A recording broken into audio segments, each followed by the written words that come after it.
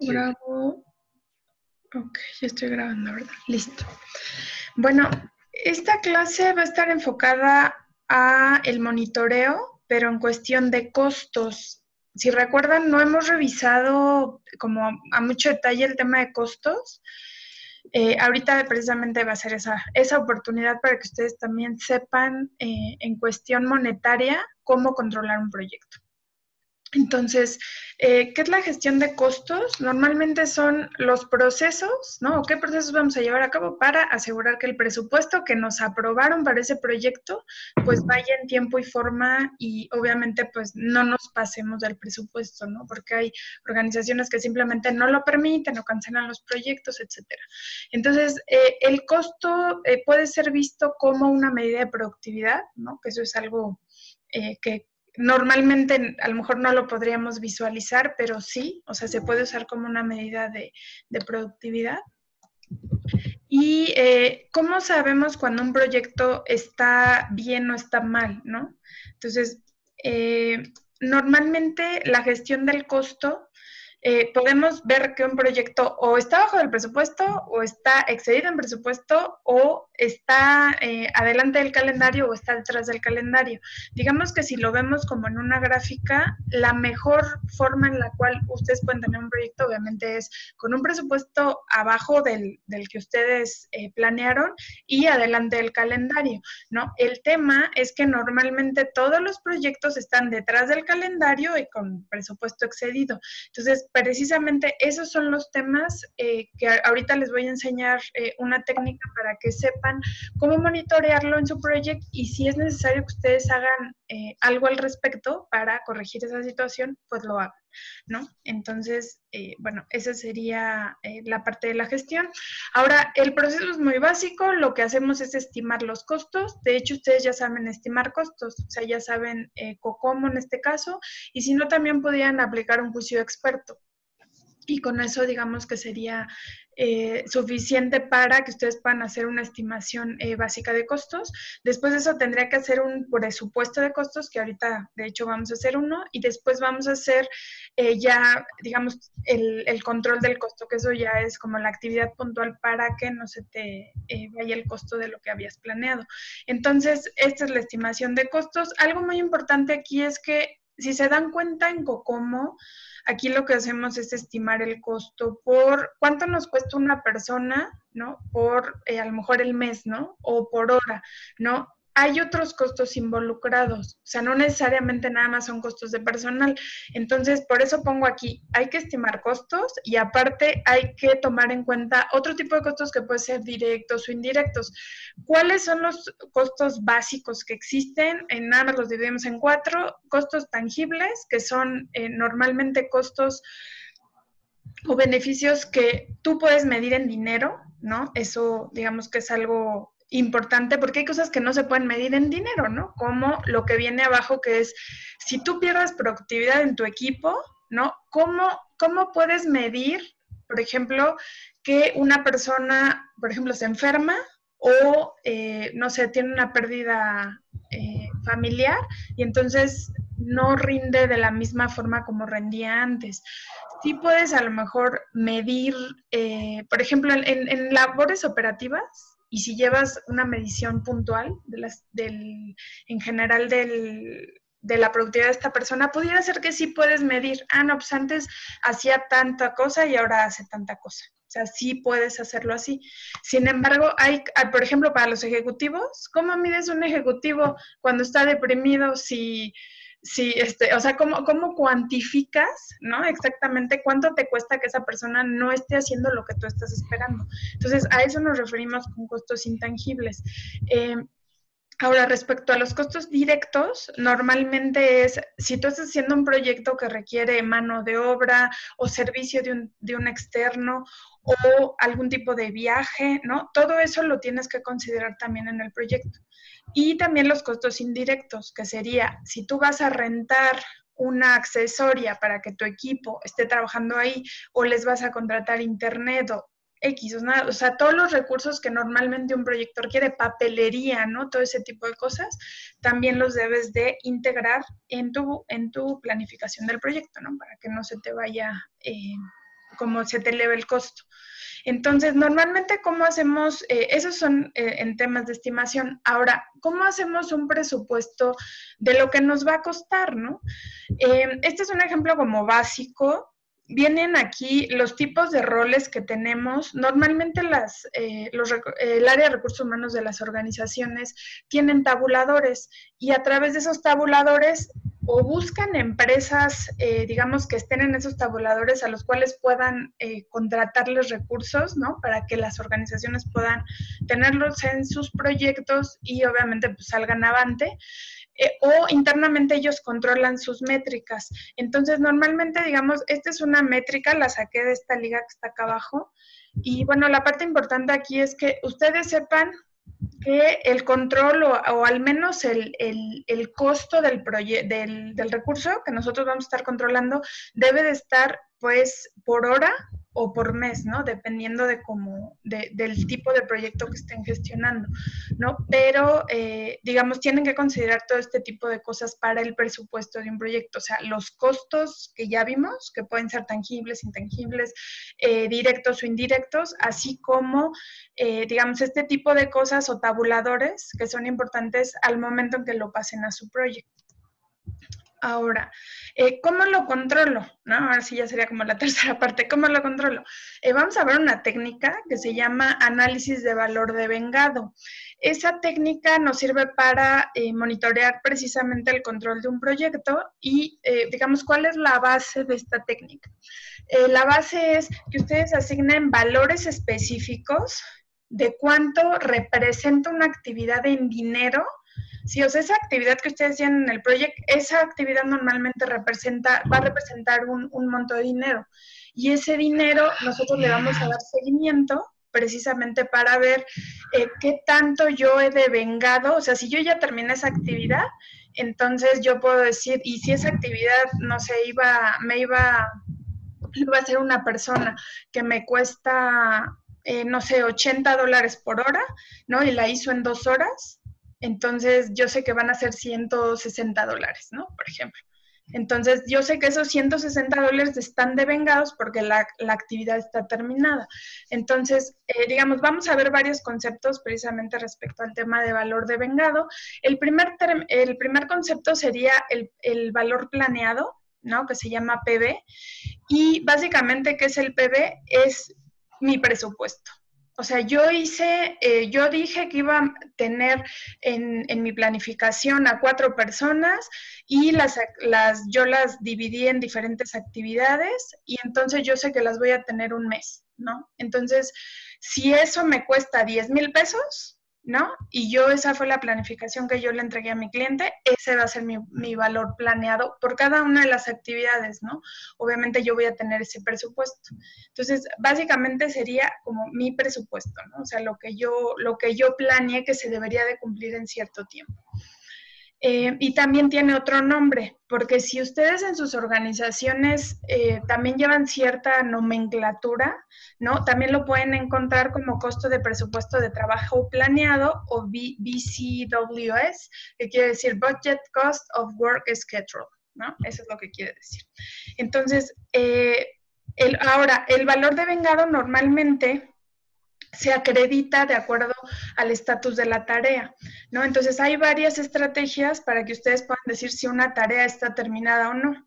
Entonces, normalmente una tarea está devengada, eh, hay varias técnicas, una es poner 0-100, ¿no? Que dices, ¿está terminada o no está terminada? Punto. O sea, no hay como puntos intermedios. Vamos en un 99%, nada de eso. O sea, ¿está terminada o no está terminada?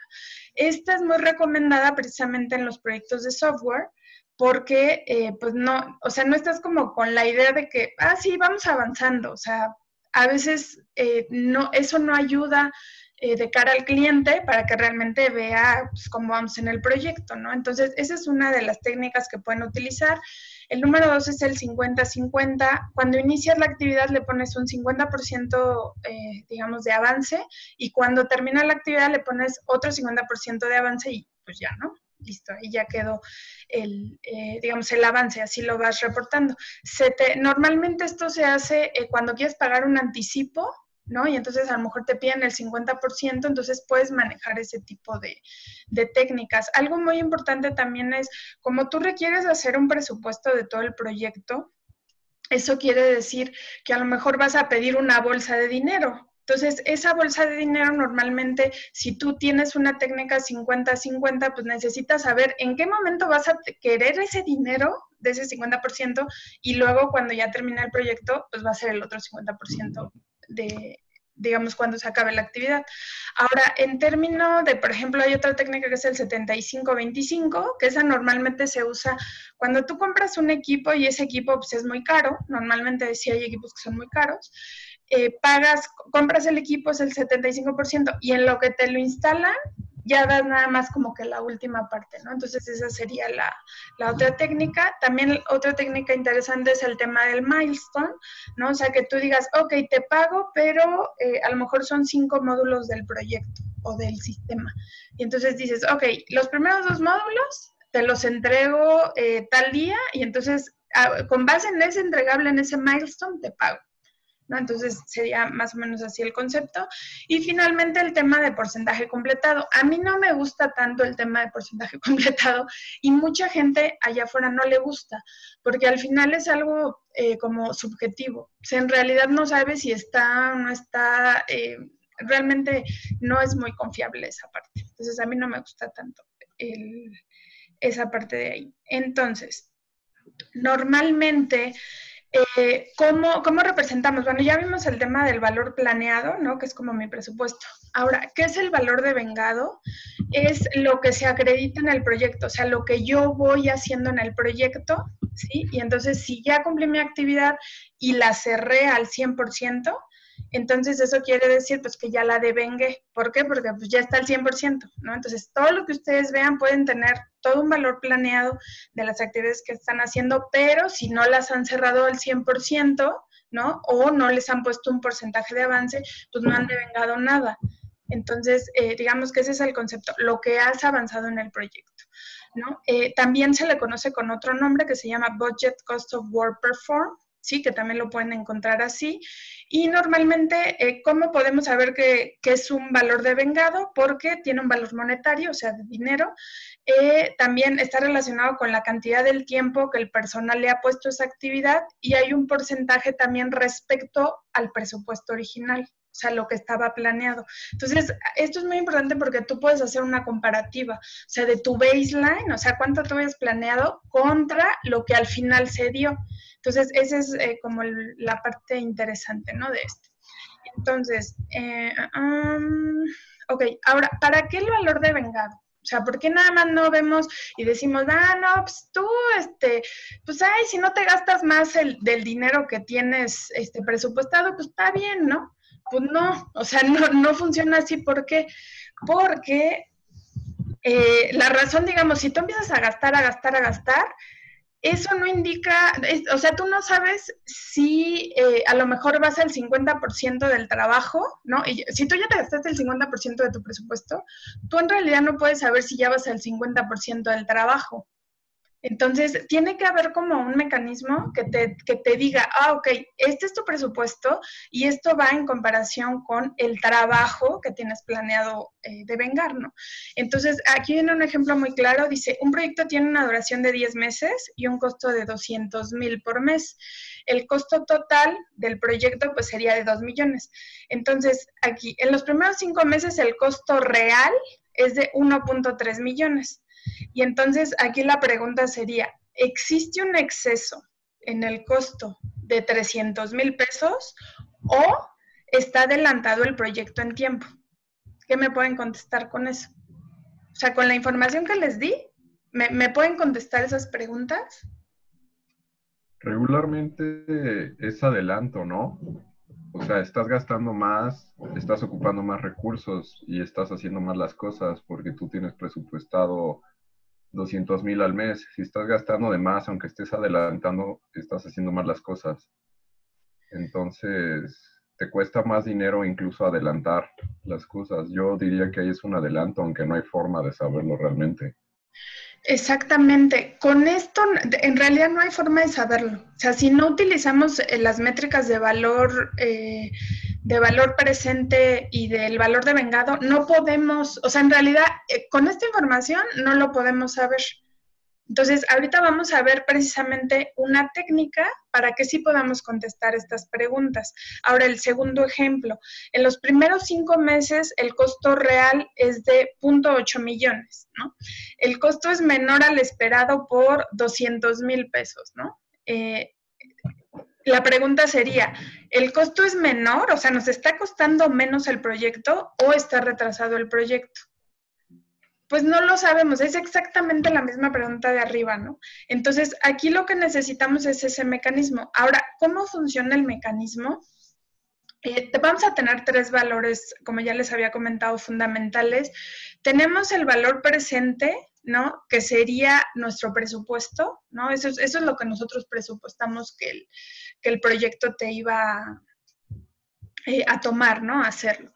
Eh, tenemos también el valor de vengado, que es dado el trabajo que yo he llevado a cabo hasta el momento, ¿sí? Este es mi avance, ¿sí? Tal cual. Entonces, y luego viene el costo real a la fecha. Entonces, si se dan cuenta, en mi costo real, o sea, yo tenía, primero me voy al planeado, ¿no? Entonces, si se dan cuenta en mi planeación, o sea, yo lo que veo es que en el, en el día 25, por ejemplo, o en la, puede ser mes 25, día 25, ¿no? En mi día 25, yo debería, debe, debería en ese momento de haber devengado, tres, o sea, debería de haber gastado 300 dólares o pesos e ir al 75% de, de avance del proyecto. ¿sí? Eso, ese es el deber ser, ese es lo que yo debí, lo que yo planifiqué, ¿no? En mi plan de trabajo, tal cual. Pero lo que yo hasta el momento he hecho, o sea, mi realidad es que yo solamente he devengado el 50%, o sea, voy al 50% de mi proyecto y solamente me he gastado 200 pesos. Entonces, la forma en la cual yo puedo saber si el proyecto tiene alguna variación, tanto en costo como en calendario como en tiempo, es a través precisamente de la relación de estas tres gráficas. Finalmente, el costo real, lo que me dice acá, es, es el costo que yo me estoy gastando en el proyecto y en este caso, por ejemplo, en el tiempo 25, si se dan cuenta, me he gastado el presupuesto como si yo fuera al 85% de avanzar el proyecto, lo cual no voy en el 85, voy en el 50. Entonces, cuando ves este tipo de gráficas, te apoya muchísimo precisamente a saber si estás gastando más y no sabes eh, a lo mejor en dónde lo estás gastando. ¿no? También ahorita que les enseño unas gráficas en Project se van a dar cuenta, o sea, cómo ustedes pueden ver qué es lo que te está sacando del presupuesto, o sea, qué es lo que está pasando ahí que te estás, eh, te estás moviendo en el presupuesto. Entonces, vamos primero con la varianza de calendario.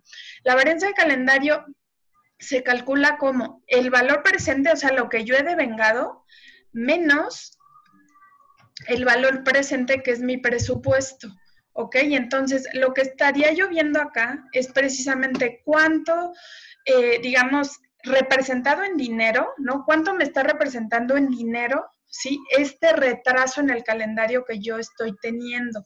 Si se dan cuenta, aquí yo debería de tener pues 200, ¿no? Y realmente estoy, o sea, yo tenía planeado 300 y solo llegué a 200. Entonces, si hago la resta, ¿no? Aquí me dice que eh, voy retrasada, o sea, las esas actividades que yo no he hecho me representan menos 100 dólares o pesos, ¿sí? En cuanto a costo del proyecto, ¿no? Tal cual. Eso es lo que me dice la varianza en calendario. Cuando la varianza es negativa, o sea, cuando esa resta es negativa, eso, me quiere, eso quiere decir que el, el proyecto está retrasado, tal cual. ¿Ok? ¿Dudas hasta ahorita? No, ¿No? ¿Seguro? Ok, ok. Ahora, la varianza de costo es, eh, digamos, algo por el estilo, solo que sería la resta, es esta distancia que está acá, esta distancia vertical, que sería desde mi, valor de vengado, o sea, lo que, lo que llevo, el, el, porcentaje que llevo en cuestión de dinero, menos el costo que me, el costo actual, o sea, cuánto me está costando realizar realmente esta actividad y eso me da la varianza en costo. Igual, cuando la varianza es negativa, eso quiere decir que el proyecto está excedido en costo. Y aquí se ve claramente, ¿no? Porque están viendo que, la gráfica en general del costo está arriba del valor de, de, vengado. Entonces, eso te dice simplemente que te estás pasando o estás gastando más dinero que el que deberías que puede haber muchas razones, ¿no? Por las cuales gastas el dinero. O sea, que a lo mejor eh, ibas retrasado en tiempo, ¿no? Y entonces para ganar tiempo metiste gente, ¿no? Y entonces ahí te elevó, te elevó los costos, ¿no? Del personal, etcétera. Pueden haber muchas razones. Pero el punto es que cuando estés con un cliente, pues requieres justificar este tipo de cosas, ¿no? Al menos decirle, no, es que mire, esa diferencia pues se dio porque, entonces ya explicas, ¿no?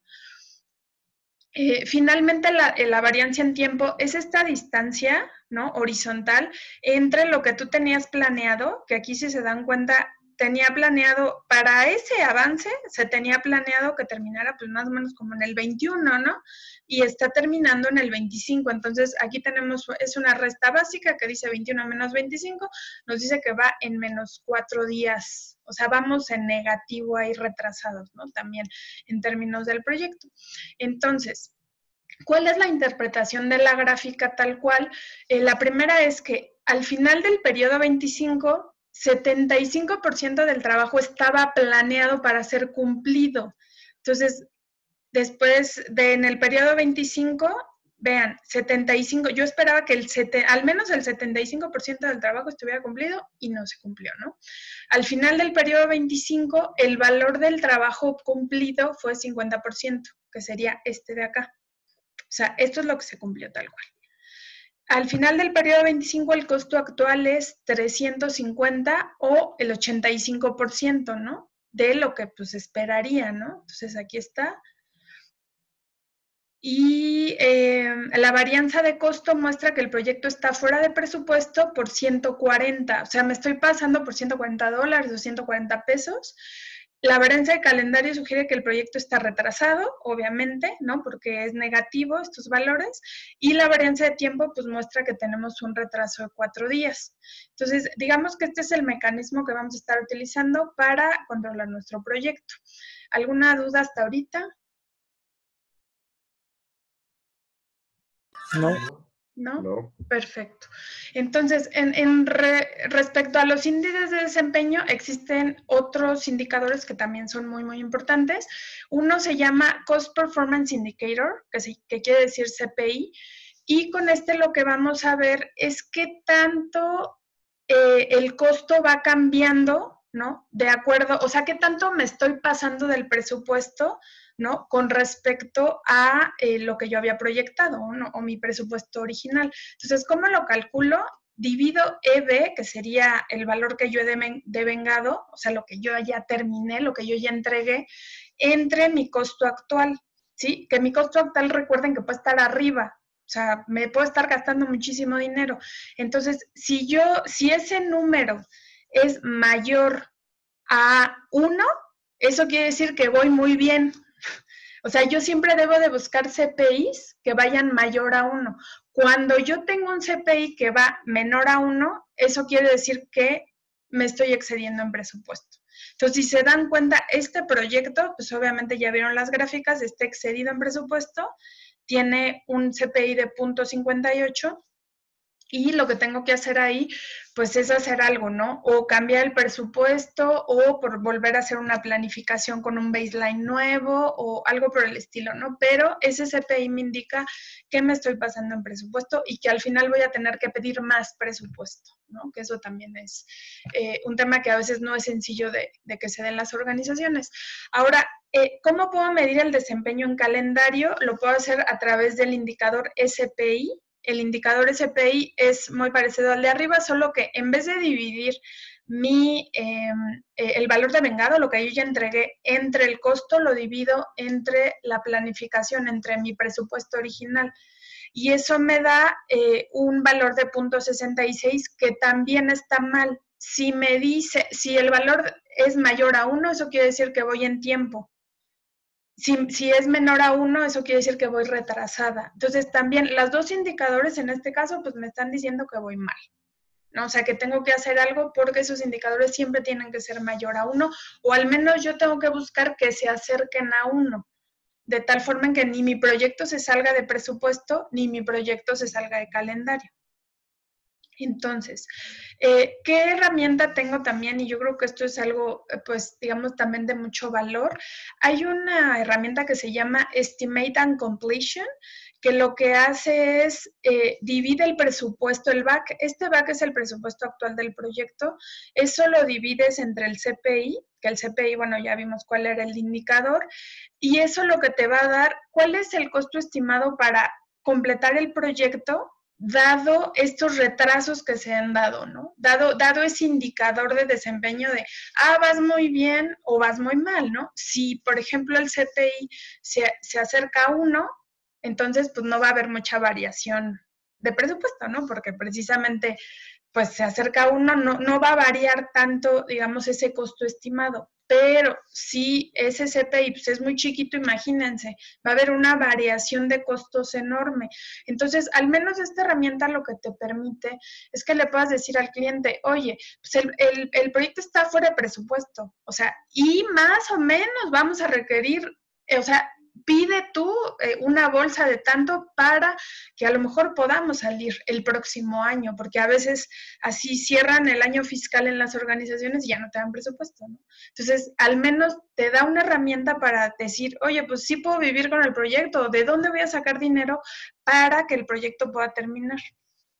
Entonces, eh, digamos, esa sería la primera herramienta. Y la segunda herramienta es el TEAC, que es el tiempo estimado de, para completar el proyecto, que básicamente sería dividir el tiempo general del proyecto, que ese 50 lo sacamos, si se acuerdan, de acá. En la gráfica viene, este es el tiempo de duración del proyecto total, ¿sí? Y eh, lo divido entre el SPI, que sería .66, y más o menos me dice cuál es el tiempo estimado para completar el proyecto. Esto sí, seguramente les recuerda a PERT, ¿no? El, o sea, cómo, se, cómo podemos manejar riesgo con PERT, ¿no? Bueno, esta es otra herramienta adicional que les permite saber a ustedes, pero digamos, con relacionado ya monetariamente, ¿no? ¿Cómo puedes estimar, dado tu situación actual del proyecto, cómo puedes estimar los costos eh, digamos, de cara a esos riesgos que tú ya estás eh, visualizando, ¿no? Respecto al, al, desempeño del proyecto. Entonces, ¿dudas hasta ahorita? No, ninguna. ¿Ninguna? Ok, perfecto. Entonces, antes eh, de continuar, me voy a ir a Project para que hagamos un ejercicio eh, básico para que les muestre, digamos, cómo, cómo generar esta parte del eh, de valor presente y todo esto, ¿no? Este es el, si recuerdan, este es el proyecto original, de hecho es el del video pasado, ¿no? Que les mostraba. Entonces, en este proyecto, recuerden, bueno, ahorita que estaba haciendo como diferentes modificaciones, ya hasta me cambió la duración del proyecto, ¿no? Pero, eh, ¿qué, le agregué, ¿no? A este proyecto. Uno, le agregué en el tema de recursos, aquí en la parte de um, Resource Sheet, lo que yo hice fue agregué al analista, en este caso si yo entro al detalle del analista, eh, le agregué un standard rate a este analista. Le puse que su hora más o menos cuesta 105 dólares o pesos, ¿no? En este caso, este, como están manejando su proyecto, ustedes van a poner ahí o van a configurar los costos, eh, digamos, adecuados, ¿no? Entonces, digamos, ese es el costo, eh, standard rate del costo y así lo puse, ¿no? Ahora, para los otros hice exactamente lo mismo. ¿No? Le puse un costo de 105 y al programador sí le puse un costo menor. A este le puse un costo de 80 dólares o pesos, ¿no? Entonces, eh, otra cosa que también puse aquí fue agregué un, eh, se llama recurso de costo. De hecho, acá en Add Resources tú puedes poner un cost resource, ¿no? Si yo, por ejemplo, tuviera que instalar un servidor, y esto nada más es para que vean que pueden poner otros costos diferentes a, los costos eh, pues normales de cuánto te cuesta una persona, ¿no? Que esté operando en tu proyecto. Entonces, puse este tipo de, recurso acá, pues para que vean también cómo afecta el presupuesto. Entonces, este recurso, cuando tú agregas un, un recurso de costo, lo que te permite es que tú no, no defines acá el costo del producto, sino ya en el project, en las actividades, cuando lo asignas, ahí le dices cuánto te cuesta el costo, de tal forma en que tú puedes como que sumar toda esa, eh, o tener toda esa información del costeo, ¿no? Al momento en que estás haciendo la planificación. Entonces, ese fue, digamos, el primer paso que yo hice, ¿no? Generar, eh, digamos, todas estas métricas con y ponerle el costo a cada uno de los, de los recursos y listo, ¿no? Eso fue lo que hice, generar mis recursos y hasta ahí. Ahora, en términos de las tareas, ya que hice eso, lo que hice fue, ¿qué creen? ¿Qué, se les imagina que debí de haber hecho en ese momento? O sea, ya que asigné mis, mis, este, ahora sí que mi costo prorrateado por recurso, ¿qué ¿qué se les ocurre que tendría que hacer en ese momento?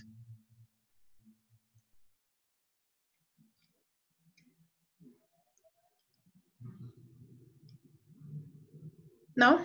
Bueno, no se preocupen. Lo que tendría yo que hacer en este caso es cerrar mi baseline.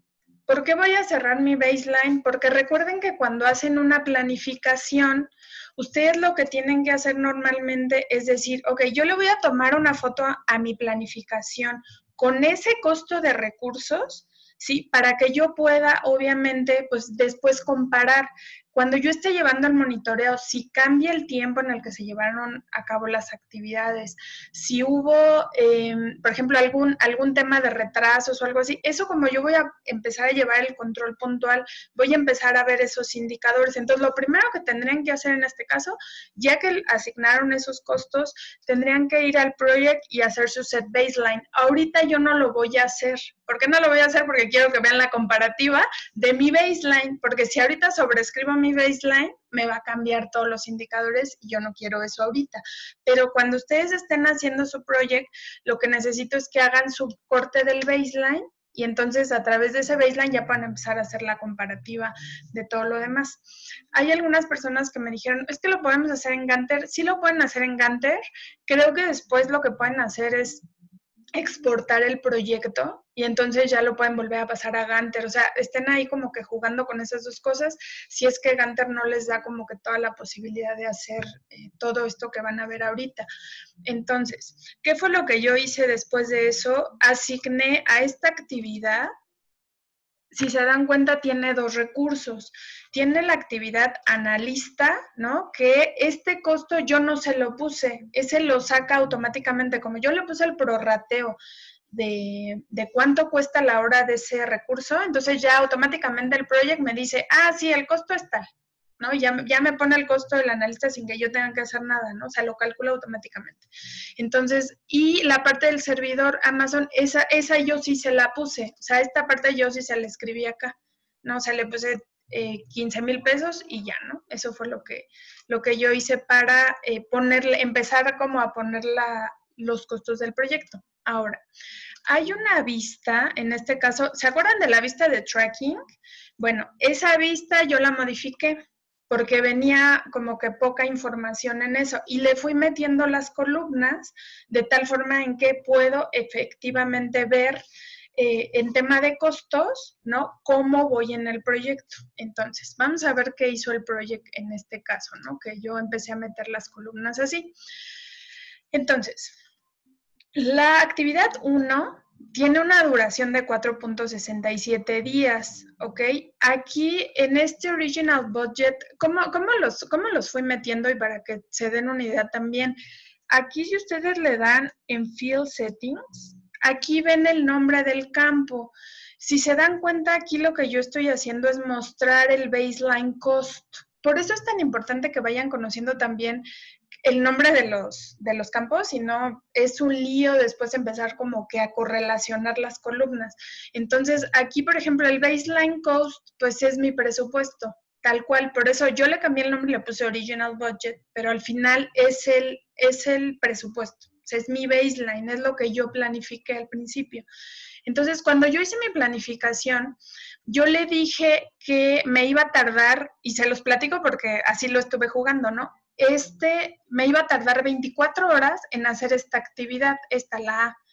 Y eso obviamente me representaba 2.520 pesos en su momento, ¿no? eso me representaba. Sin embargo, yo empecé a mover las actividades y le dije, no, ¿sabes qué? No me voy a tardar eh, o en el, el, trabajo actual que me va a tomar hacer eso no son 24 horas, sino son 40. Entonces, lo que yo hice fue cambiar estos 40, ¿sí? Y después lo que hice fue ver cuál era el costo actualizado. Este costo actualizado lo saqué del campo, eh, uh, field settings, updated de costo. Sí, o sea, si ustedes quisieran verlo, porque no, hagan de cuenta que esta vista yo la, como que la uní, pero a mano. O sea, no existe una vista así como completa, así, no. Lo que puedo hacer es pasarles el project para que vean también cómo voy eh, metiendo los campos, pero normalmente lo que hago nada más es voy acá, ah, voy a la última columna y entonces voy metiendo los campos acá. Entonces, por ejemplo, cost, ese que les enseñé ahorita, está por acá, ¿no? Entonces yo lo lo meto acá, ¿no? Cost, acá. Y lo puedo meter y va a ser exactamente el mismo campo que tienen allá, el de 34 tal. Sí lo ven, ¿no? Ahí está. Ok, y está el update cost. Es el mismo, solo que yo le cambié el nombre. Sí, eso, eso fue lo que yo fui haciendo, digamos, en mi, en, en, mi tablita para ir generando precisamente todos los indicadores y que el proyecto pues, me vaya sacando ahora sí que la, la planificación adecuada. Entonces, lo que yo hice acá, metí el cost acá y entonces esto me dice que mi proyecto cuando yo lo planifiqué al principio, o sea, cuando yo cerré ese baseline, me iba a costar 2.520, 840 para la actividad B, 1.680 para la actividad eh, C. Esto obviamente, si hay, si yo agrego más recursos a esto, entonces me va a costar más. O sea, si yo, si yo la actividad D le meto un recurso más, entonces me va a costar el doble. ¿Por qué? Porque le estoy metiendo otra, otro, otro recurso adicional. Entonces, por ejemplo, este es, este es mi, presupuesto original. Y aquí si se dan cuenta hubo un incremento. ¿Por qué? Porque el último cambio que yo hice, en, la primera aproximación que hice, yo no le puse lo del servidor. ¿Se acuerdan lo del servidor que les dije, el de 15 mil pesos? Ese yo se lo metí después. Entonces, cuando yo se lo metí, por eso mi costo cambió en este caso o se incrementó a 17.520, precisamente porque yo le agregué el costo del servidor a esa actividad H.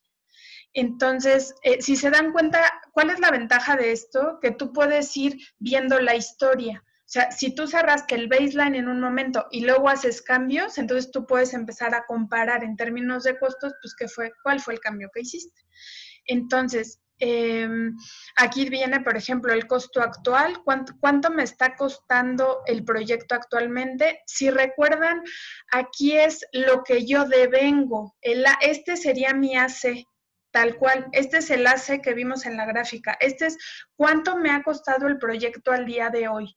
¿sí? Y ese, este campo, de hecho, lo pueden sacar también en Project de el, actual cost. O sea, ustedes van al, al, a Project, agregan esa columna y ya se los da automáticamente. O sea, no es necesario que ustedes vayan y lo hagan a mano, que también tienen que aprender a hacerlo a mano para que entiendan el concepto, pero bueno, en general lo pueden hacer también en Project. Y entonces, agregando el actual cost, lo que tú haces es, aquí lo que te dice la actividad es, ok, esta actividad estaba presupuestada en 2.520, tiene una duración de 4.67, te falta cero días para terminarla, ¿por qué? Porque está al 100%, ¿ok? Del total de su, digamos, está ahora sí que del 0 al, del 0 al 100 está al 100%, está terminada y te tomó 40 horas realizar esa actividad. Esas 40 horas son las que representan los 4.200 pesos que están acá. Entonces, lo que yo hago normalmente es que mi EVE o mi valor de vengado. El valor de vengado, acuérdense que siempre va sobre presupuesto original, siempre, siempre, o sea, nunca va a ir hacia presupuesto, ¿cuál es tu presupuesto actualizado? 4.200, pues sí, porque te tomó más tiempo hacerlo. Ahora, si yo, por ejemplo, en este me hubiera tomado 42 horas, le voy a cambiar, ¿no? Acá 42. Vean cómo cambia.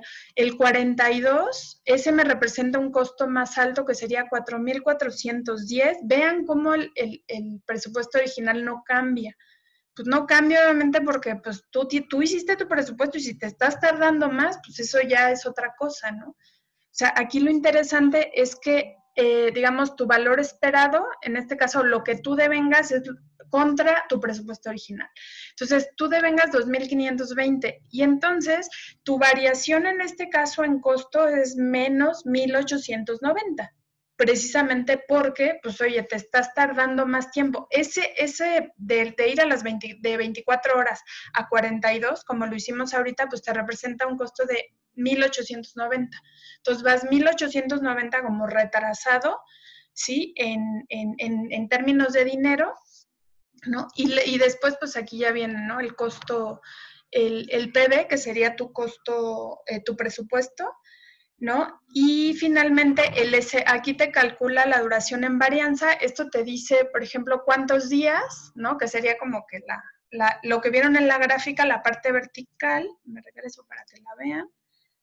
Esta parte, ¿no? Sería la variación en la duración, que sería este TM, ¿no? La varianza en tiempo, TM acá. ¿Y qué otra cosa? Ok, y el CPI. Por ejemplo, aquí te dice el CPI es .57 para esta actividad. Obviamente, pues te está diciendo que estás como por muy por arriba del presupuesto, ¿no? Y el EAC te dice em, que estás en 4.410. O sea, el EAC lo que te dice es cuál va a ser el presupuesto real, ¿no? O sea, hasta dónde vas a llegar en, en cuanto al costo del proyecto de acuerdo a esos retrasos que vas teniendo. Entonces, si lo ven a nivel global, vean cómo sube el presupuesto hasta 28 mil pesos. De un presupuesto original de 17 mil, yo ahorita puedo decir que llevo gastado o, sé que me va a costar el proyecto con, con todos estos ajustes que ha habido, al menos 34 mil pesos, ¿no? Pero yo puedo hacer una estimación de que si puedo a lo mejor arreglar ciertas cosas, entonces ese costo me va a costar 28.860, ¿no? Que también, que también pues es un costo pues alto, ¿no? Y se saca precisamente con estas fórmulas que les comentaba, eh, en el cual se divide el presupuesto entre CPI y ya puedes sacar tú ese valor. ¿Ok? Entonces, digamos, esto es eh, algo importante y también te sirve para que tú puedas justificar cuál puede ser tu incremento en cuanto a costos del proyecto de acuerdo pues, a, cómo va, ¿no? Tal cual. Y lo puedes hacer pues, eh, llevando tu, control en project. Entonces, eh, digamos, esto es en términos de la actualización de las actividades o que la actividad dure más, ¿no? Ahora, ¿qué pasa si yo por ejemplo, tengo un avance en la actividad, en esta, ¿no? En esta, por ejemplo, tiene un valor de, la actividad D tiene un valor de 6. Ahora, bueno, más bien, ahora les voy a hacer una pregunta. Estas actividades, este es el porcentaje de completitud de la actividad. Solo hay dos actividades que están avanzadas. La actividad A, que tiene 100, y la actividad D, que tiene 20. En este caso, esta completitud tiene 0%. Eh, ¿por qué el valor, en este caso, por qué el valor de vengado es cero en estas actividades? ¿Cuál es la lógica detrás de eso? Según lo que hemos visto.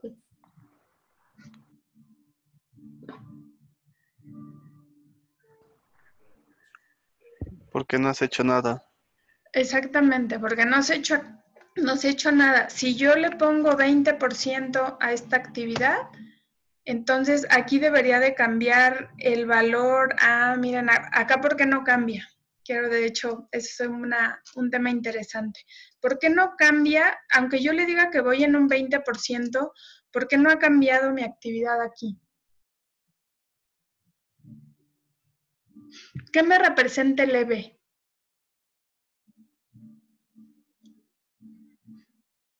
O sea, ¿contra qué debería yo de, estar comparando eh, si ya terminó o no terminó una actividad? Contra tu planeación original, ¿no? Exactamente. Y como esa actividad, a ver, voy a abrir más el, en este caso el Ganter. Recuerden que esta es la línea que me indica digamos, en qué, en qué porcentaje yo debería ir en el proyecto. Si esta actividad no la he empezado, está, digamos, como que planeada o el, o el proyecto espera que ya, que ya haya sido ejecutada?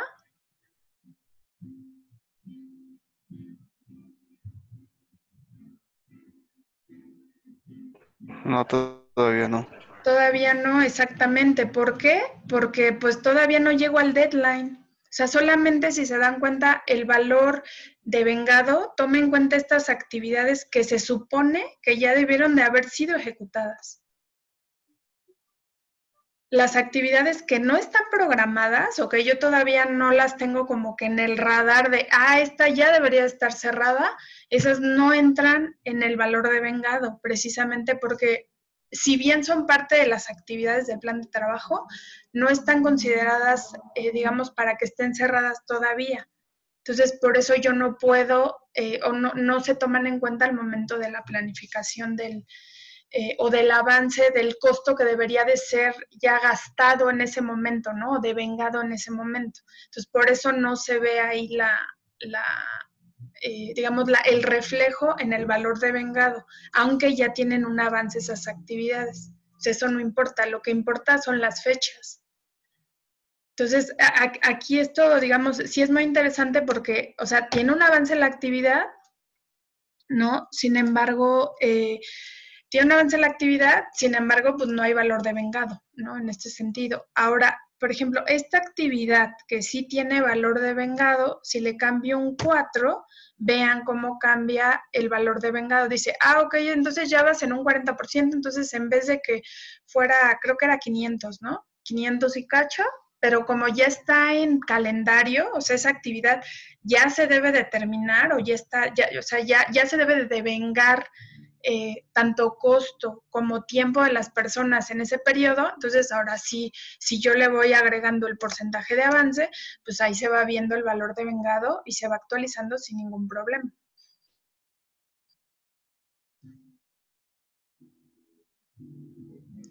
¿Sí lo ven? Sí. ¿Sí? Ok. ¿Tienen alguna duda ahorita acerca de estos conceptos? De valor presente, valor presente o valor de vengado, eh, la varianza en costo, la interpretación de, por ejemplo, de los índices.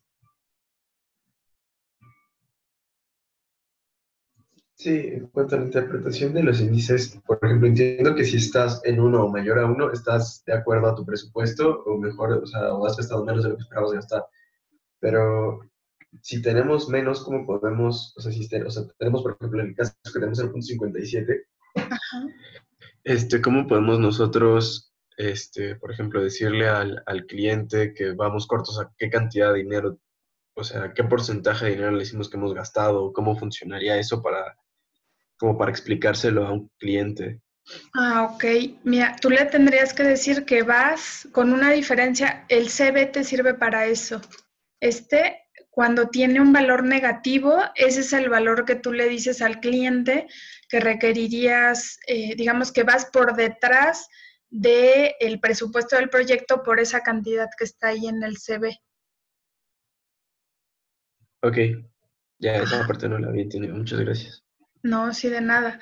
Y en esta parte, por ejemplo, en el EAC, aquí también te dice, oye, pues yo pensaba gastar 2.520 según mi presupuesto original, pero ya llevo 4.410, ¿no? Entonces, esa parte pues también es eh, como pues algo interesante, pues que tú le tengas que decir, oye, ¿sabes qué? Vamos mal en el proyecto porque un punto 57 pues nos dice que pues vamos excedidos en presupuesto y requerimos hacer algo, ¿no? O sea, lo que sí te puedo decir es que va, al, al momento de hoy, al día de hoy, vamos a requerir 4.410 pesos para eh, digamos, más en presupuesto.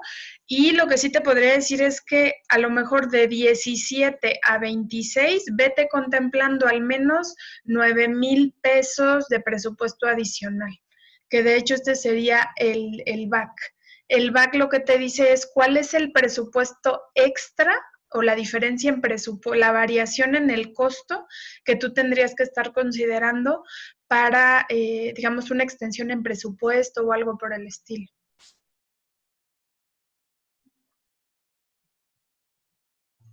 Ok. Ok. ¿Dudas? ¿Cómo lo ven? Está interesante, ¿no?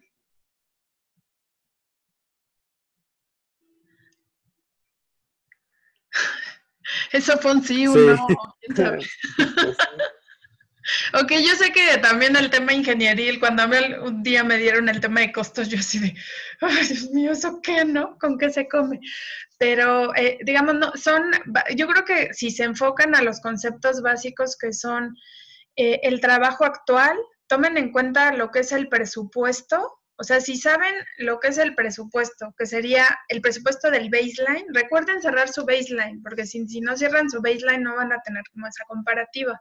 Entonces, cerrando el baseline, ese va a ser su costo, dada la planeación que tengan y la asignación que le den a sus recursos con los costos adecuados, entonces nada más cierran el baseline y ahora sí empiezan a, registrar este trabajo. El actual work es el que les va a permitir saber si hay exceso de presupuesto o no o si se tardaron menos, por ejemplo, en esta actividad, esta actividad estaba programada que se terminara en 24 meses originalmente, 24 horas. Entonces, si la cambio a 12, entonces vean cómo cambia esto. ¿No? Entonces te dice, eh, por ejemplo, tu, eh, tu valor de vengado fueron 768, eh, ¿no? Y entonces tu variación en costos son menos 491, ¿no? Pero aquí nada más hay un tema. Si yo le digo 12 horas, hay que hacer una configuración en el proyecto específica. Normalmente las personas no se tardan menos en hacer la actividad, por eso está hecho así en el proyecto pero si se dan cuenta, está unida la duración, o sea, si tú le dices, por ejemplo, que te tardaste 24 horas, pero eh, si este valor a lo mejor, o sea, esto está con el, con el baseline original. Si tú le dices que te tardaste 12 horas, eso representa el 31%, ¿no? De, de, lo que tú habías definido en ese baseline.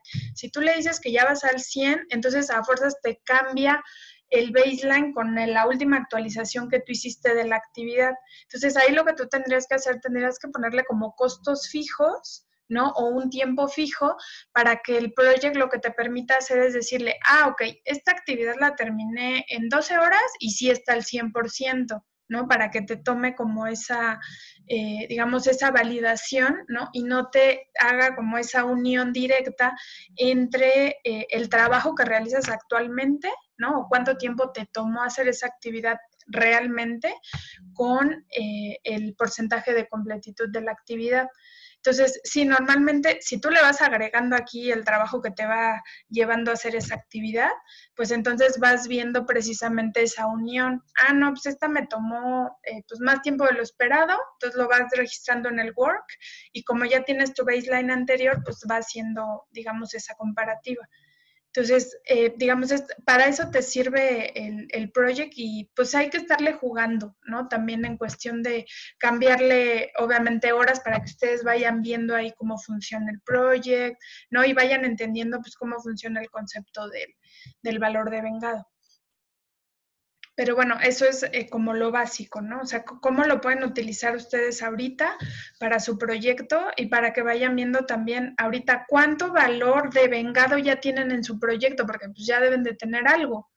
O sea, ya, me, ya ahora sí me pueden decir, no, pues mi CPI, pues voy re mal, ¿no? Hay algunos que van retrasados en sus proyectos, ya pueden sacar un indicador ahí que pues más o menos les vaya diciendo pues cómo van en términos de costos y también les va a servir para que puedan comparar este costo, este EAC, ¿sí? Con el costo que hicieron en Cocomo. Entonces, si comparan eso, pues ahí se van a dar cuenta, pues qué también o qué tan mal estaban en términos de la planificación que estaban haciendo.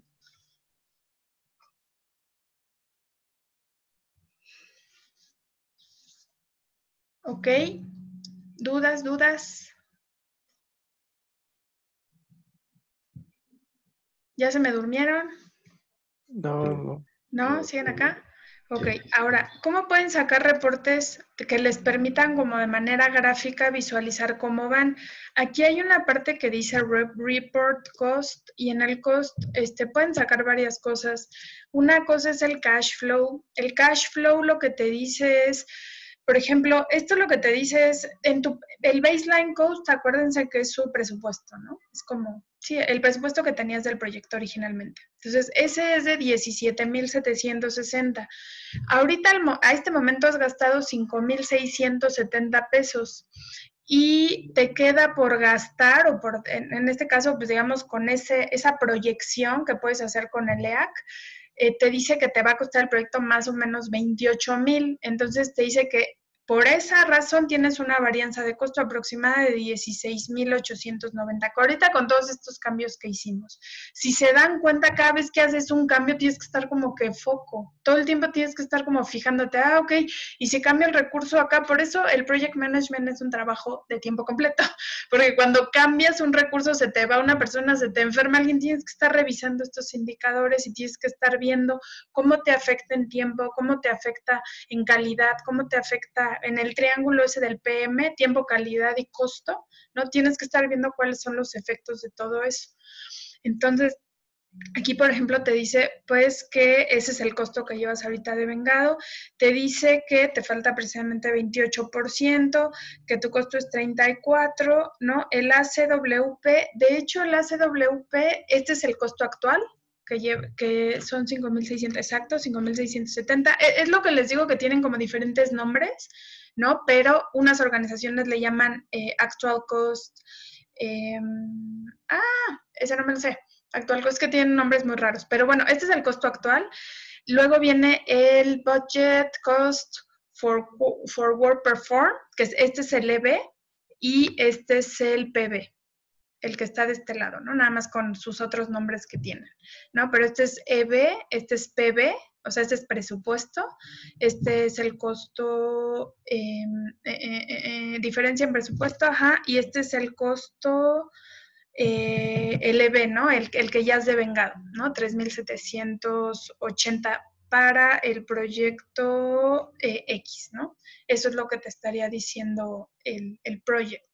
Entonces, esta es una gráfica y también está la gráfica de cost overrun, ¿no? La cual te dice, por ejemplo, que aquí el servidor Amazon, yo lo metí después de mi baseline original que hice. Entonces, lo que me está diciendo es, oye, pues si eso no lo habías considerado en tu presupuesto original, ¿por qué está ahí? Entonces, esa varianza de costos me la, la sacar también por recursos, lo cual está muy interesante también. Si hay una persona que se está tardando más en sus actividades, al momento en que ustedes estén haciendo un monitoreo, aquí lo van a ver claramente. O sea, ¿sabes qué? Este analista me está costando más tiempo del que yo tenía eh, presupuestado en su momento, o este servidor, este recurso que tú estás metiendo, pues ni siquiera lo teníamos contemplado.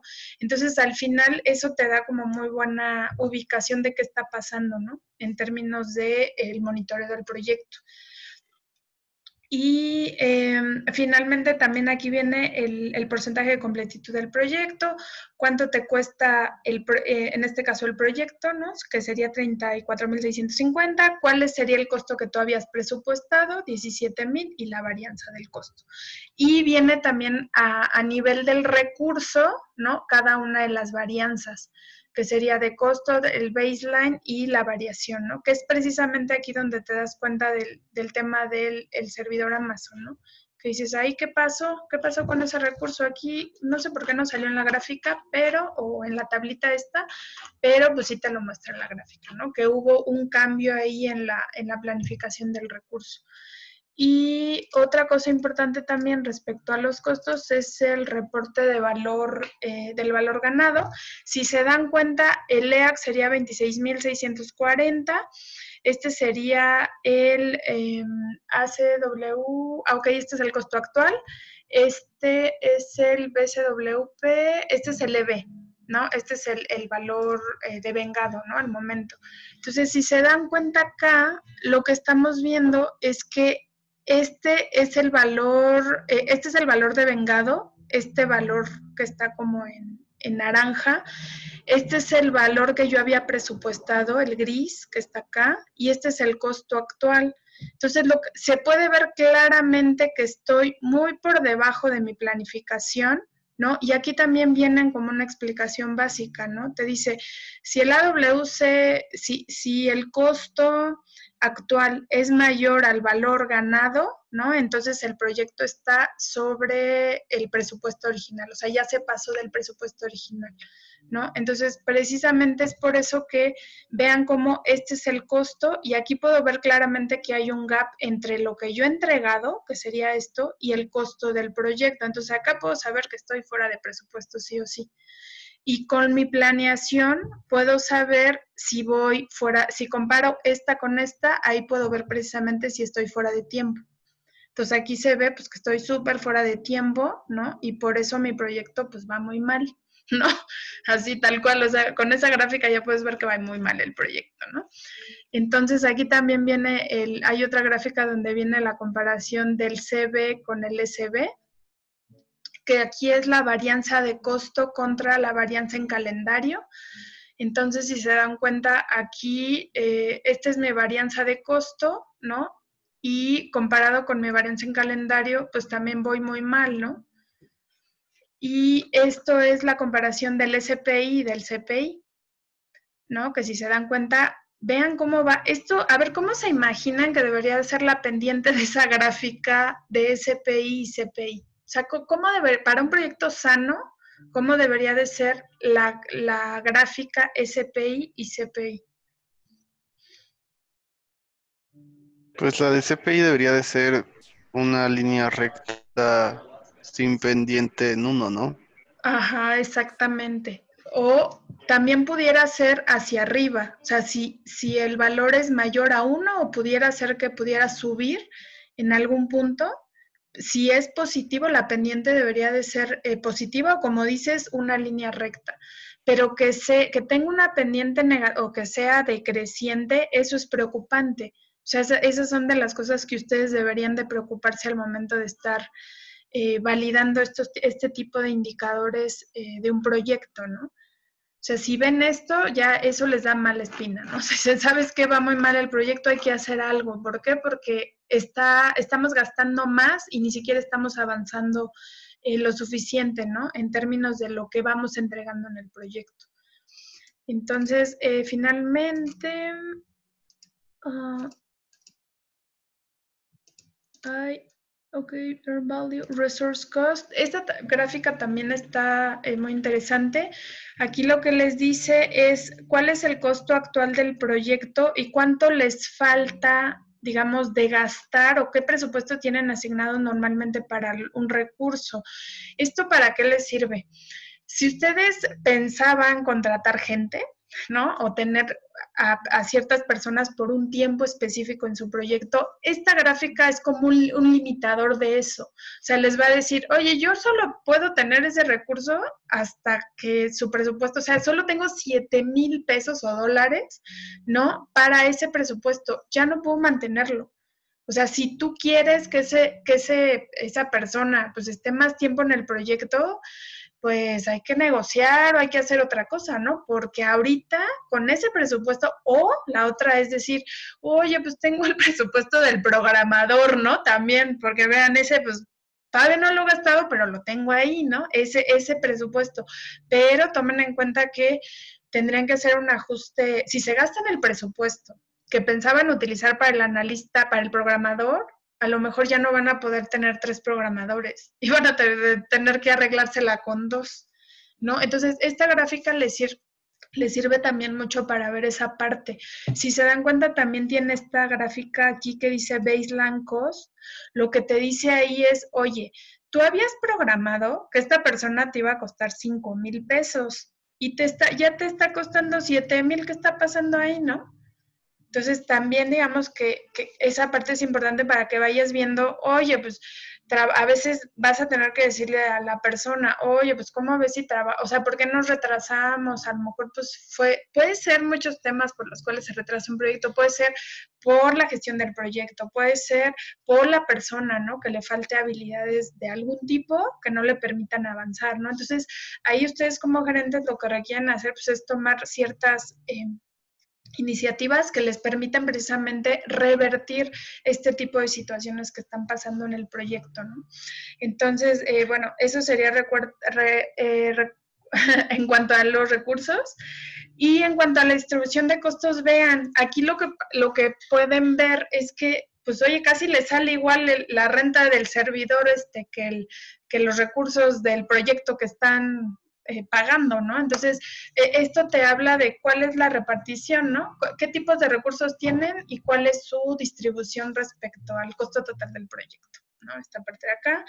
Y la parte de detalles en costos te habla también de cuánto, cuánto trabajo ahorita ha ejecutado este analista, cuál es su costo actual y su rate, ¿no? ¿Cuál es, cuál es el costo del, del, recurso que estás teniendo acá, ¿no? Este, por ejemplo, pues no ha devengado nada acá, ¿no? Este ha devengado 12 horas, ¿no? Con un costo actual de 1.260. Eh, si se dan cuenta, es muy interesante ver ya esa comparativa, o sea, porque aquí te quedas corto, dices, bueno, pues sí, ya sé que es el eh, que ha gastado 12, pero ¿cuánto le falta, no? O sea, si le falta mucho, esta gráfica te lo dice mejor, ¿no? Cuánto te falta, pero la tabla no, o sea, no tiene esa información. Entonces, pues digo, al menos te apoya la, gráfica para que lo puedas ver. Y, mm, ok, y este nada más habla de, en términos de las tareas, o sea, cuál es el costo de las tareas, ¿no? ¿Cuánto te están costando? Y dado el baseline cost también, ¿no? Porque aquí, por ejemplo, este era tu baseline cost original y vean, ya se fue hasta 35. Entonces aquí te dice, oye, pues qué onda, algo pasó ahí con la planificación, ¿no? Estuvo como que mal, porque pues no, o sea, ya, si te das cuenta, pues si estás gastando, o sea, ya lo azul es lo que ya, lo que ya has gastado, lo que te falta por gastar y lo que tenías inicialmente proyectado. ¿No? Y también algo importante acá sería eh, cómo está dividido la distribución del costo respecto a las actividades que ya completaste, a las actividades que en este caso pues están tarde, ¿no? Estuvieron tarde y las actividades que son futuras, ¿no? O sea, estos, por ejemplo, me faltan 26.880 de todas las actividades, pues que no están retrasadas, pero que sé que requiero hacer, y estas son las que están retrasadas, ¿no? Y todavía requiero cubrir, pero en cuestión de costos. Y eh, finalmente, pues aquí viene también, ¿no? La, varianza de costos, que ya lo habíamos visto, que son 16 mil pesos, y el baseline cost, que era el, costo original, y el costo actual, que es lo que te está costando el proyecto al día de hoy. Entonces, em, digamos, esto sería, digamos, la parte del monitoreo de costos. Em, para mí, yo creo que esto es eh, fundamental eh, para que ustedes puedan, eh, o sea, PERT, y esto les da como que una visión clara, ¿no? De cómo, de cómo hacer un monitor en el proyecto. Y nada más les voy a explicar un tema adicional, muy, muy rápido. Eh, no sé si alguien antes de que me pase a otro tema tenga alguna duda respecto a temas de costos o de monitoreo de costos, de acuerdo a lo que hemos discutido acá.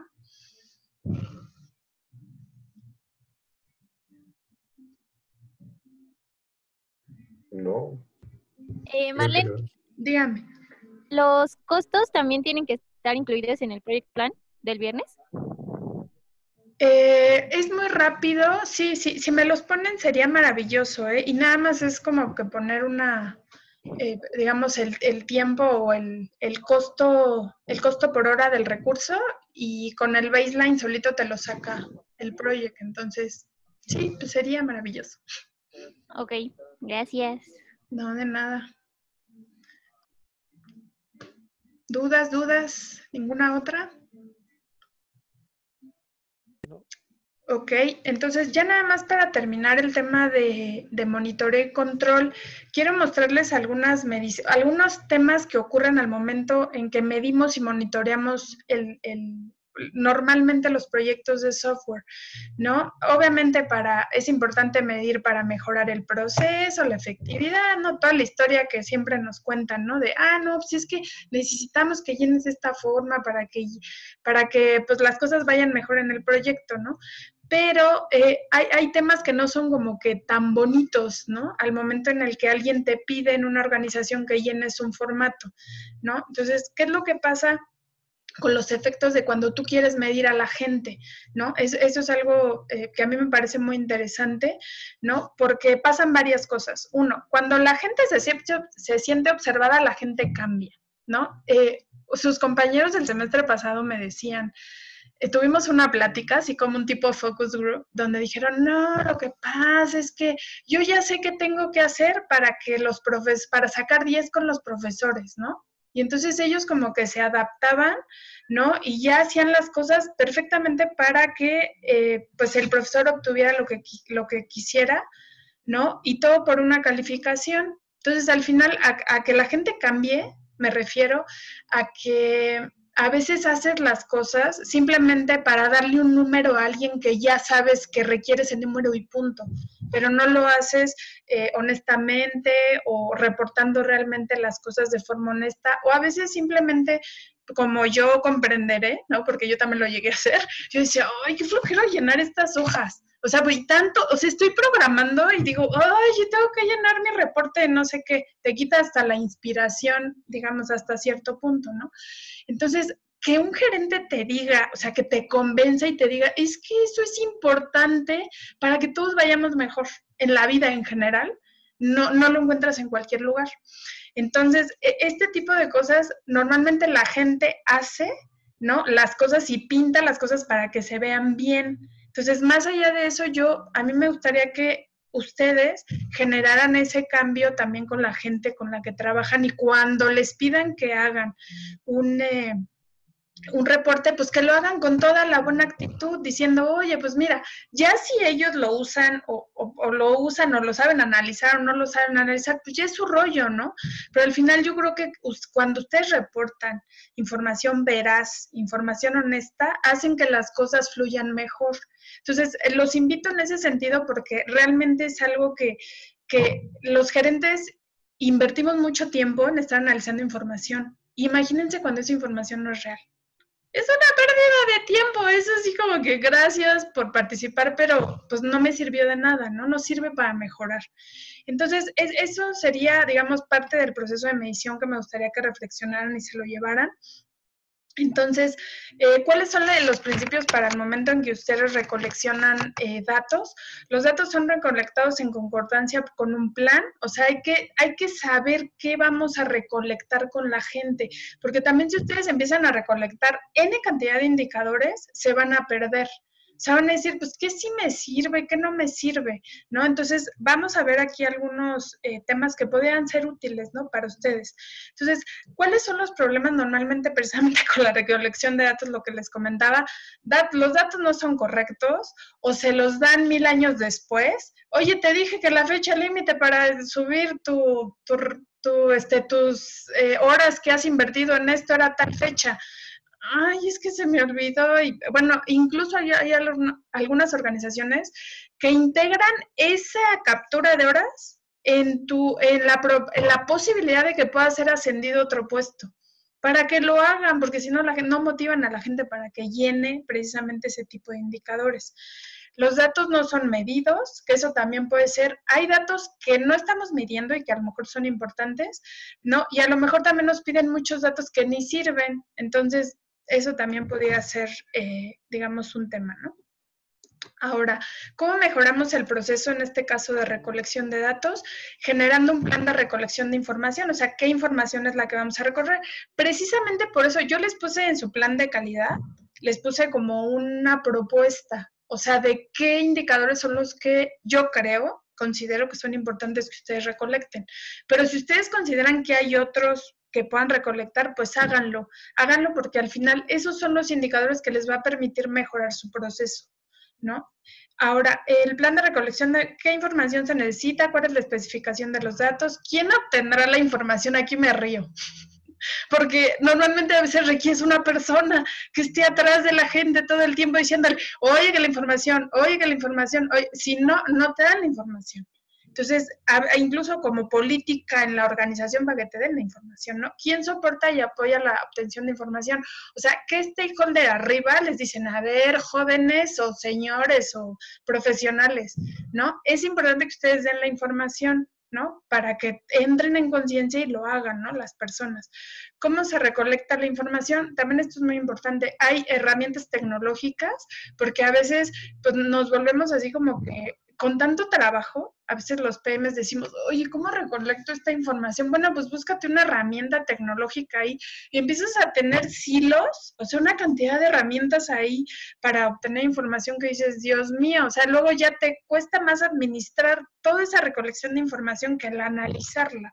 Entonces ahí también tienen que pensar ser eh, como inteligentes y usar herramientas que les permitan hacer este análisis de forma más sencilla.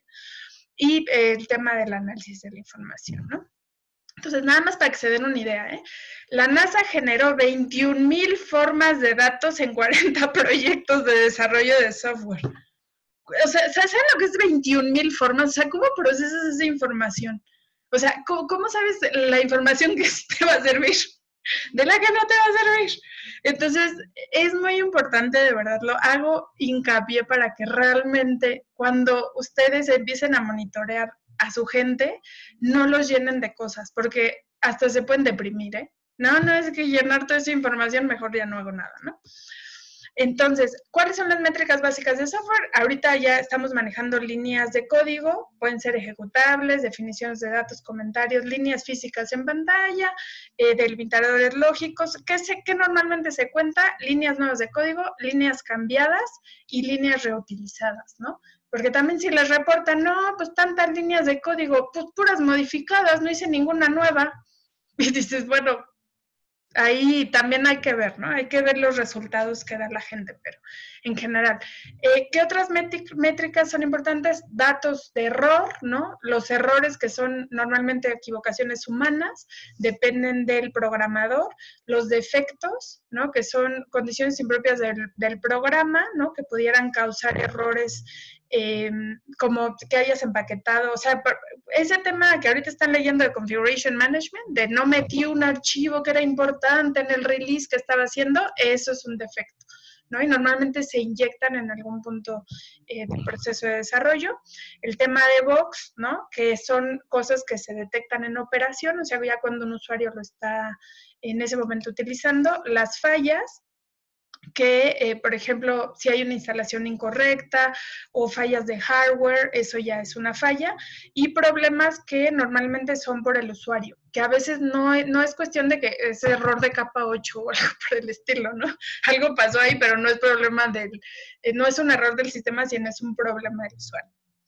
Entonces, eh, ¿cómo se mide la productividad? Normalmente es o por, o por sprint o por fase del, del modelo de desarrollo o por actividad. ¿Y qué tanta periodicidad? Eso también de verdad, Dios mío hay personas que dicen, no, es que todos los días este, tienes que llenar un formato y tú dices, oye, pues si me toma media hora llenar eso. Bueno, hasta eso hay que definir si son media hora antes de que yo termine el, todas las actividades que estoy haciendo el viernes, ¿no? O, el lunes lo lleno. O sea, hasta eso hay que pensarlo, ¿no? O sea, cuando estás en el, digamos que en, en la apuración de terminar un proyecto y todavía tienes que llenar una hoja, de verdad se vuelve y luego que te diga que lo llenes a cada rato, pues es una locura, ¿no?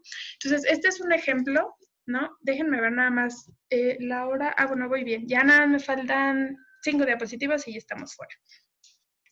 Entonces, eh, si yo, por ejemplo, aquí lo que puedo medir, puedo medir métricas como qué esfuerzo le he, generado, ¿no? En términos, puede ser de líneas de código, de trabajo, en cada una de las fases del desarrollo que yo voy eh, ejecutando. Aquí nada más les comento, yo tomé un curso de PCP en el Software Engineering Institute y de hecho llené, e, ellos tienen un software para llenar todo el PCP y todo este rollo, ¿no? Está muy padre el asunto ahí.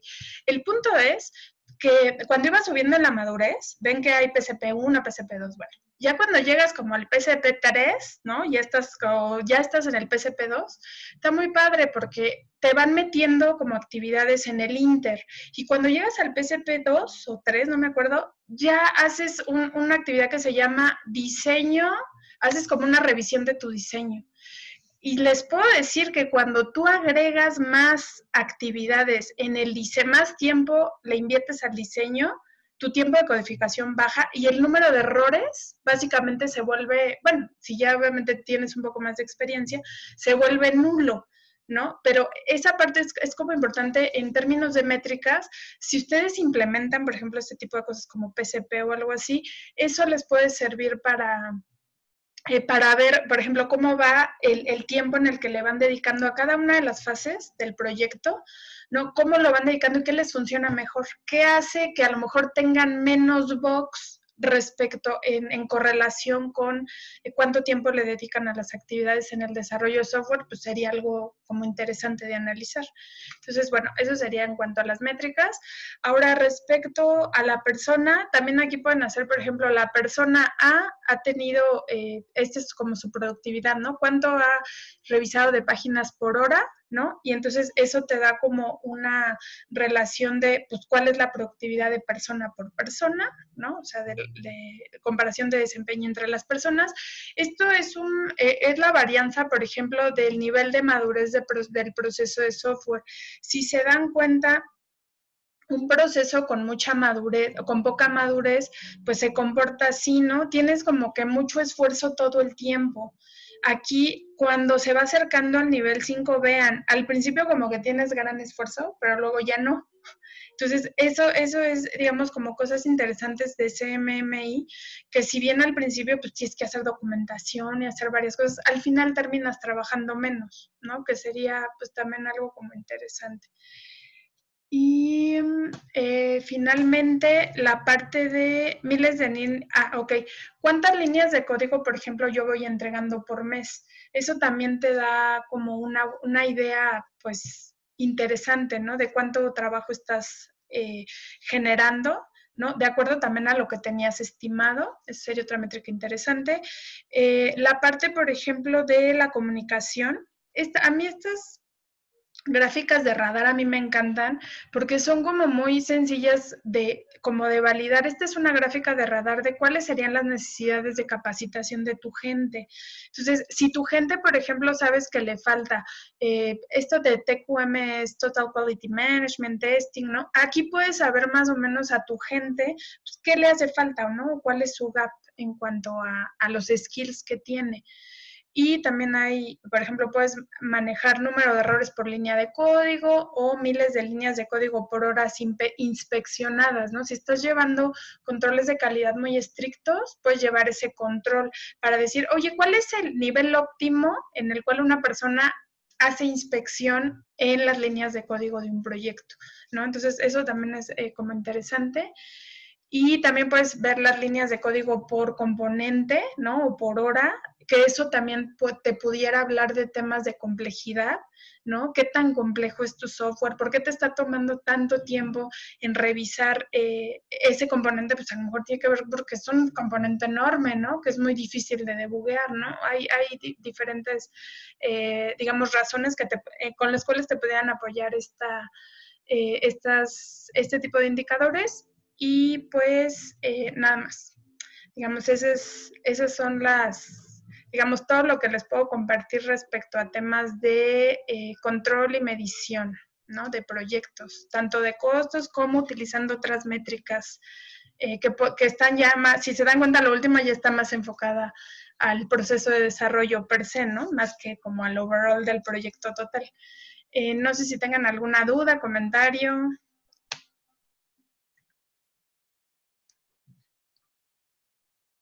Mm, creo que no. ¿No?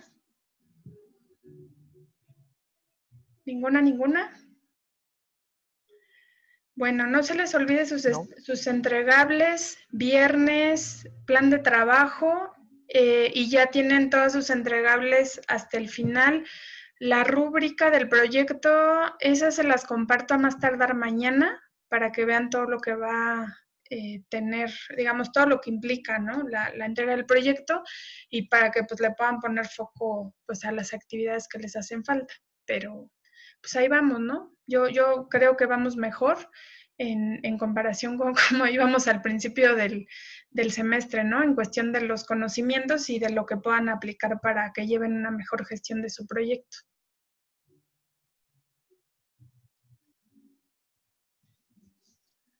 Ok, entonces, bueno, déjenme, nada más dejo de compartir acá y...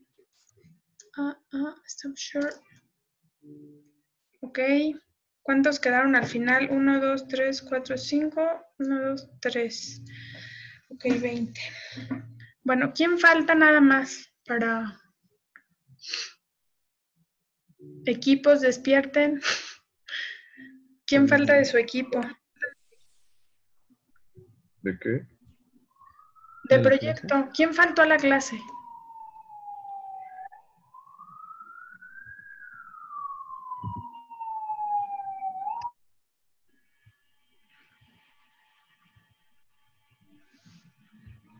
¿Sí lo ven? ¿Sí ven quién, quién Creo que de nuestro equipo. Oye, Ok, ¿cómo les ha ido a todos? ¿Todos bien? ¿No han tenido temas?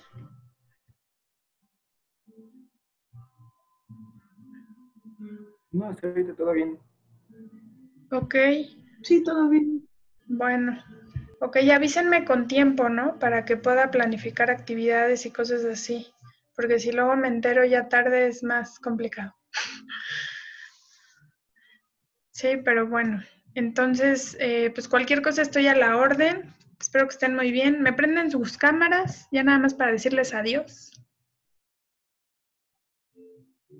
¿Tienen clase ahorita? Sí, Sí, con Rafa. sí, Sí, con Rafa. Ah, con Rafa. Ah, ok. Bueno, pues espero que les haya servido esta clase, pues del tema de costos. Yo creo que es una clase muy interesante y más para ustedes que son ingenieros súper técnicos, expertos en tecnología. Este, y sí, sí, es, es básicamente complementaria, ¿no? Para todas esas habilidades que, que ya traen. Entonces, eh, pues sí, espero que les haya servido y cualquier duda me dicen, ¿no? Nos estamos viendo entonces. Cuídense Hasta mucho, luego, ¿eh? Marlene. Que les vaya bien. Hasta luego, gracias. Nos vemos.